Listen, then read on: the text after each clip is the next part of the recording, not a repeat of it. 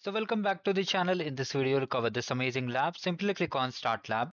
Now the first thing is that you have to simply open the Cloud Console Incognito window and wait for the Cloud Skills Boost to get signed in. Here you may get some kind of pop-up. You have to simply click on I understand and then just click on this I understand now from here, what you need to do, you have to see this API services and then credentials. Right click and open on a new tab.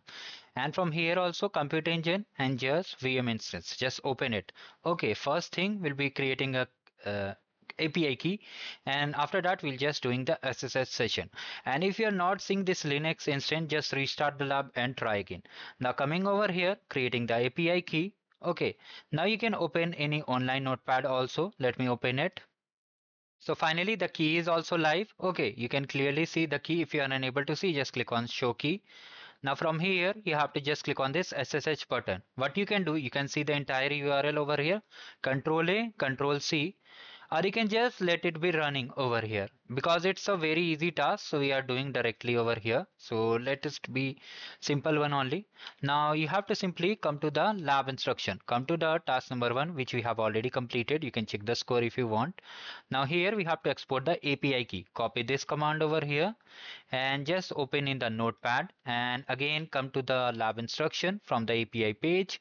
Just copy the key Update the key carefully from here to here, select entire content, close the notepad and just come over here and simply paste and hit enter. Now you have exported the API key.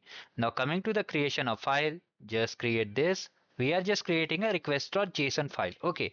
Now here we have to modify some of the I mean some of the files over here. So first of all you have to type just nano and just copy the file name from here. Just carefully copy it. Okay i'm doing it slowly so that you are able to understand. Now hit enter and just copy the entire content. Control v and to exit. This is the main part. Control x y and then hit enter. Now you have just updated the file. Now we have to just run the curl command over here and hit enter. So now if you just check you can clearly see we have got the score for these two tasks and if you want to enable this yellow check my progress, always check the description. Now here we have to just modify the file.